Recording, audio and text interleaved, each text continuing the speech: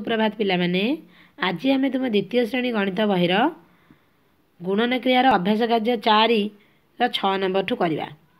କାରଣ ଗତ କାଳାଂଶରେ ମୁଁ ତୁମକୁ ଏକ ନମ୍ବରରୁ ପାଞ୍ଚ ନମ୍ବର ଯାଏଁ ବୁଝାଇ ଦେଇଥିଲି ତେଣୁ ଆଜି ଛଅ ନମ୍ବର ଯାଏଁ କରିବା।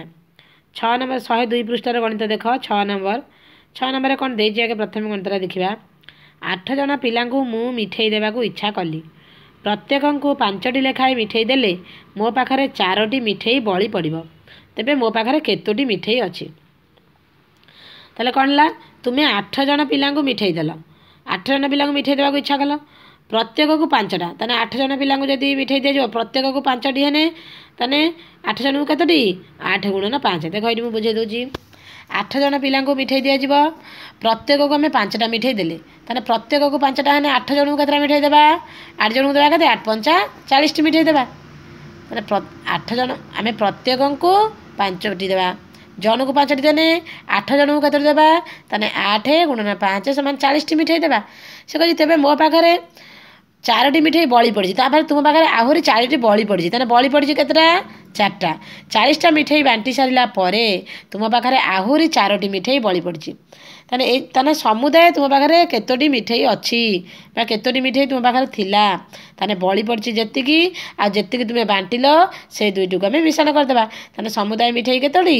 ଚାଳିଶ ମିଶାଣ ଚାରି ସମାନ କେତେଟା ହେଲା। ଚଉରାଳିଶଟି ମିଠେଇ ତୁମ ପାଖରେ ଥିଲା।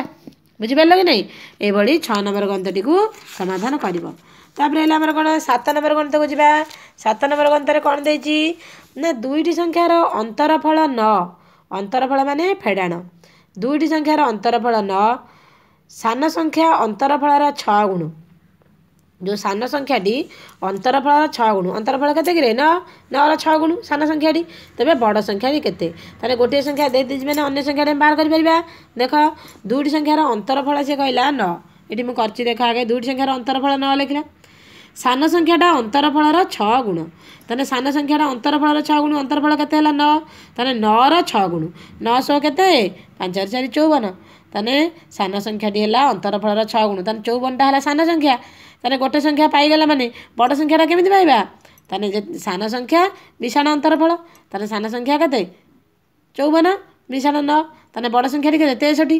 ତାହେଲେ ଆମର କ'ଣ କହିଥିଲା? ଅନ୍ତରଫଳ ନଅ। ଦେଖ ତେଷଠିରୁ ଆମେ ଯଦି ଚଉବନ ଫେଡ଼ିଦେବା ବି ଆମେ ନଅ ପାଇପାରିବା। ତାହେଲେ ଅତେ ବଡ଼ ସଂଖ୍ୟାଟି ତେଷଠି। ଆସିବ କି ନାହିଁ ଠିକ୍ ସେଇଭଳି ଆମେ ଆଠ ନମ୍ବର ଗଣିତ କରିବା। ଆଠ ଜଣ ବାଳକ ଯେଉଁ କାମକୁ ଦଶ ଦିନରେ କରନ୍ତି ଜଣେ ବାଳକ ସେହି କାମକୁ କେତେ ଦିନରେ କରିପାରିବ? ଆଗେ ଗଣିତଟା ବୁଝ। ଆଠ ଜଣ ବାଳକ ଗୋଟିଏ କାମକୁ।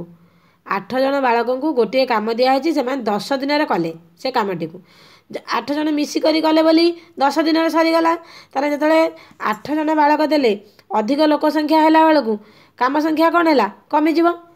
ଯେତେବେଳେ ଲୋକ ଏଇଟା ତୁମେ ବଡ଼ କ୍ଲାସ୍ରେ ଚଳନ ଅଙ୍କରେ ପଢ଼ିପାରିବ କିନ୍ତୁ ତୁମର ଗୁଣନ କ୍ରିୟାରେ ସହଜ ଗ୍ରନ୍ଥଟି ଦେଇଛି।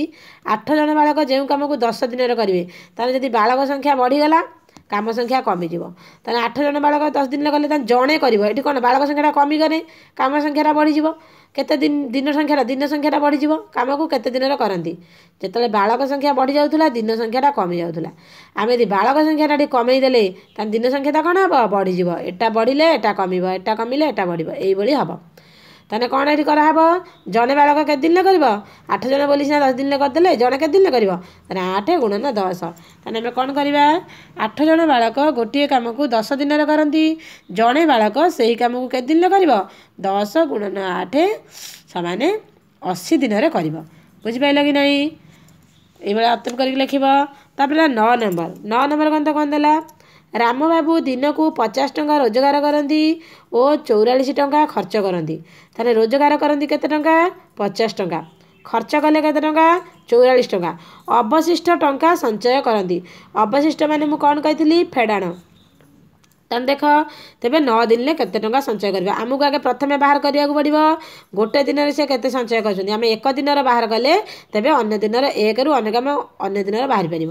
ତାହେଲେ ଦେଖ ରାମବାବୁ ଦିନକୁ ରୋଜଗାର କଲେ ପଚାଶ ଟଙ୍କା। ପଚାଶ ଟଙ୍କା ରୋଜଗାର କଲେ ଖର୍ଚ୍ଚ କଲେ କେତେ? ଚଉରାଳିଶ ଟଙ୍କା। ସେ ଚଉରାଳିଶ ଟଙ୍କା ଖର୍ଚ୍ଚ କଲେ। ଅବଶିଷ୍ଟଟା କେତେ ହେଲା? ପଚାଶ ଫେଡ଼ାଣ ଚଉରାଳିଶ। ପଚାଶରୁ ଚଉରାଳିଶ ମାନେ କେତେ? ଛଅ ଟଙ୍କା। ତାହେଲେ ଛଅ ଟଙ୍କା ସେ ଦିନକୁ ସଞ୍ଚୟ କଲେ। ଦିନକୁ ସଞ୍ଚୟ କେତେ? ଛଅ ଟଙ୍କା। ତାହେଲେ ନଅ ଦିନକୁ କେତେ ସଞ୍ଚୟ କରିବେ? ନଅ ଗୁଣନ ଛଅ ସମାନେ ନଅଶହ କେତେ? ଚଉବନ ଟଙ୍କା। ବୁଝିପାରିଲ କି ନାହିଁ? ନଅ ଦିନକୁ ସେ ସଞ୍ଚୟ କରିବେ ଚଉବନ ଟଙ୍କା। ହେଲା? ଅତ- ତୁମେ କ'ଣ ଲେଖିବ? ଅତେବ ରାମବାବୁ ନଅ ଦିନରେ ଚଉବନ ଟଙ୍କା ସଞ୍ଚୟ କରନ୍ତି ବା କରିବେ। ସେମିତି ଦଶ ନମ୍ବର ଗଣିତକୁ ଯିବା। ଦଶ ନମ୍ବର ଦେଲା ଗୋଟେ ଗଣିତ ପରୀକ୍ଷାରେ ଦଶଟି ପ୍ରଶ୍ନରୁ ଆଠଟି ପ୍ରଶ୍ନ ମୌଖିକ। ତାହେଲେ ଗଣିତ ପରୀକ୍ଷା ତୁମେ ଯେଉଁ ପ୍ରଶ୍ନ ଦିଆହେଉଛି ତୁମର ମୌଖିକ ଆଉ ଲିଖିତ ଏମିତି ପରୀକ୍ଷା ଆସେ ନା ନାହିଁ? ତେଣୁ ସେ କହୁଛି ଅବଶିଷ୍ଟ ହେଲା ଲିଖିତ। ଦଶଟି ପ୍ରଶ୍ନ ଥିଲା ତା ଭିତରୁ ଆଠଟା ହେଲା ମୌଖିକ। ତାହେଲେ ଆଠଟା ମୌଖିକ ହେଲେ ତୁମେ ଉଁ, କହିପାରିବ ନାହିଁ ପାଟିରେ କେତେଟା ଲିଖିତ ଥିଲା ଦଶରୁ ଆଠ ଗଲେ କେତେଟା ଲିଖିତ ଥିଲା ଦୁଇଟି ଲିଖିତ ଥିଲା। ତାହେଲେ ଦୁଇଟି ଲିଖିତ ହେଲେ ଦଶ ଜଣ ପିଲା ମୋଟ କେତୋଟି ଲିଖିତ ଗଣିତ ସମାଧାନ କଲେ? ଦଶ ଗୁଣନ ଦୁଇ। ତାହେଲେ ଦେଖ ଏଠି କରାହେଉଛି। ତାହେଲେ ମୌଖିକ ପ୍ରଶ୍ନ ହେଲା ଆଠଟି ଅବଶିଷ୍ଟ ଲିଖିତ। ଅବଶିଷ୍ଟ ଲିଖିତ ହେଲେ କ'ଣ ହେବ? ଦଶ ଫେଣାଣ ଆଠ ସମାନ ଦୁଇଟି ହେଲା ଲିଖିତ। ତ ଯଦି ଦୁଇଟି ଲିଖିତ ହେଲା ସେ କ'ଣ କହିଛି ଦଶ ଜଣ ପିଲା କେତୋଟି ଲିଖିତ ଗଣିତ ସମାଧାନ କଲେ? ଦଶ ଜଣ ପିଲା ଗୁଣନ ଦୁଇଟି ଲିଖିତ। ତାହେଲେ କୋଡ଼ିଏଟି ଲିଖିତ ଗଣିତ ଦଶ ଜଣ ପିଲା ସମାଧାନ କଲେ। ଆସିବ କି ନାହିଁ ତାହେଲେ ତୁମକୁ ମୁଁ ଛଅ ନମ୍ବରରୁ ଦଶ ନମ୍ବର ପର୍ଯ୍ୟନ୍ତ ବୁଝେଇଦେଲି। ଶହେ ଦୁଇ ଆଉ ଶହେ ତିନି ପୃଷ୍ଠର ଗଣିତ। ତୁମେ କ'ଣ କରିବ? ତାକୁ ଖାତାରେ କରିବ। ବହିରେ ବି ଜାଗା ଅଛି ତାକୁ କରିବ। କରିସାରିକି କ'ଣ କରିବ? ଦୀପ୍ତି ଗୁରୁମାଙ୍କ ହ୍ୱାଟ୍ସଆପ୍ ନମ୍ବରକୁ ସେଣ୍ଡ କରିବ। ହେଲା? ଧନ୍ୟବାଦ।